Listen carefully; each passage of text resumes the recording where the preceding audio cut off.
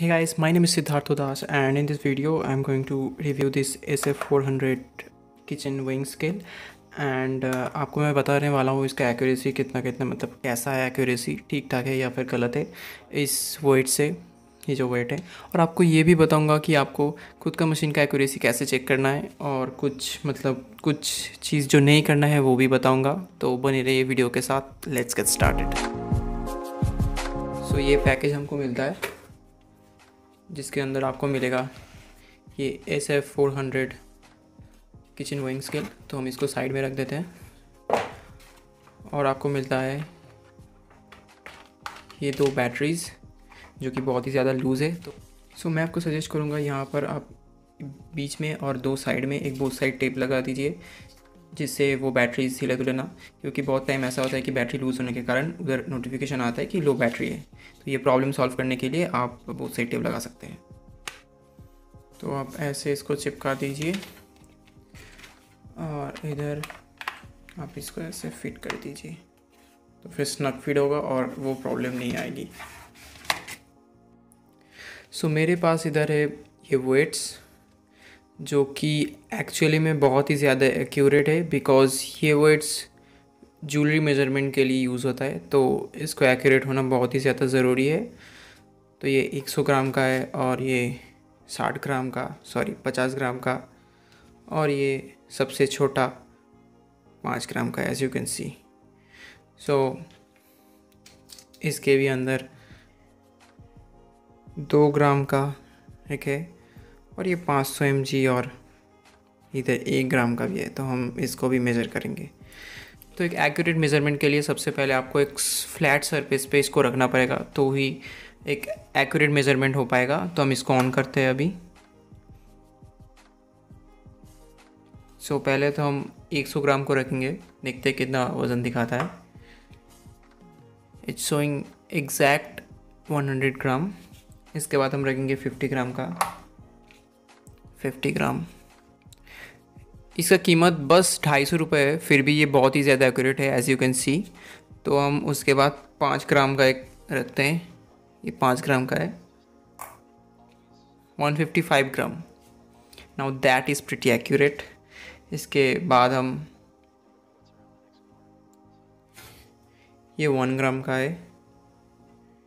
ये actually one gram का है। तो देखते इसे भी ये मेजर कर सकता है या फिर नहीं। ओके तो 155 ग्राम। ये नहीं कर पाया वन ग्राम को। ठीक है, हम दो ग्राम को देखते हैं, कर पाता है कि नहीं।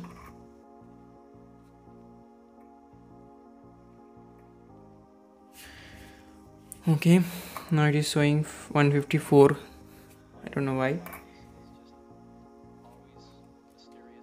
It's showing एक ग्राम। ये दो ग्राम का है भाई।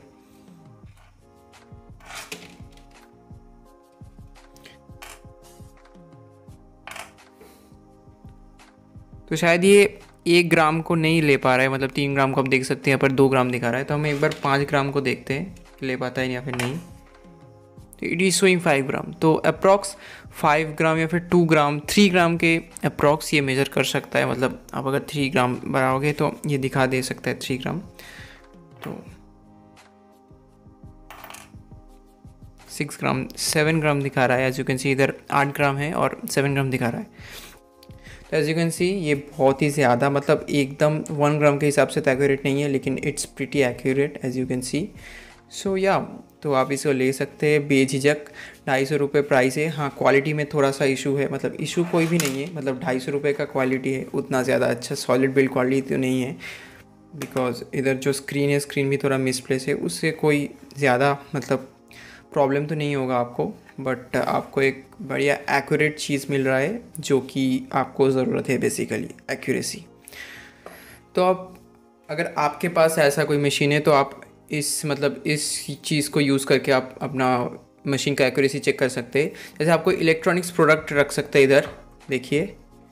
ये थर्टी वन ग्राम शो कर रहा है, और मैं आपको इधर स्क्रीनशॉट दे रहा हूँ कि ये है M S fit B P U और इसका वज़न मतलब कंपनी के हिसाब से थर्टी वन ग्राम ही है तो आप कोई भी इलेक्ट्रॉनिक प्रोडक्ट ऐसे यूज़ कर सकते हैं और इंटरनेट पर सर्च कर सकते हैं, उसका वज़न कितना है तो आप ऐसे भी एक्यूरेसी चेक कर सकते हैं।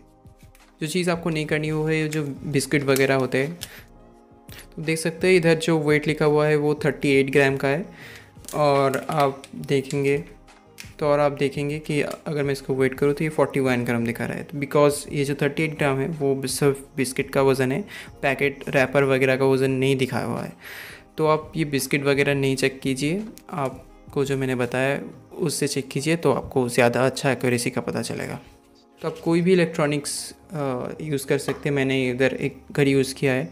और आप अगर चाहें तो आप अपना मोबाइल फ़ोन और पावर बैंक वगैरह वो भी यूज़ कर सकते हैं।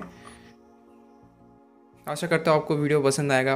और ऐसा accuracy test I think YouTube में कोई नहीं है। मतलब ऐसे एक्चुअली मेजरमेंट्स लेकर एक्यूरेसी चेक करने का कोई भी वीडियो यूट्यूब पे नहीं है। तो शायद ये पहला वीडियो है।